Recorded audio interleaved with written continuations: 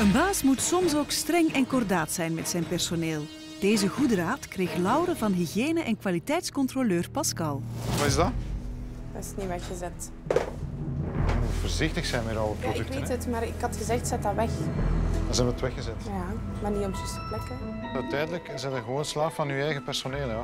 Nu, je moet niet anders doen dan achter je eigen mensen aanlopen en ze doen niks als u nog meer werk geven. En Laure heeft zo haar eigen manier gevonden om dat aan haar personeel over te brengen. Nadat Pascal is geweest, heb ik eh, briefjes gemaakt. Wat er moet gebeuren, dringend, waar dat iedereen aan, aan zich, zich moet aanhouden. En dan hebben ze geen, geen enkele uitleg om te zeggen oei, maar ik was dat vergeten. Ik kan het niet vergeten, want het staat opgeschreven. Laure besluit dus om voor de harde aanpak te gaan.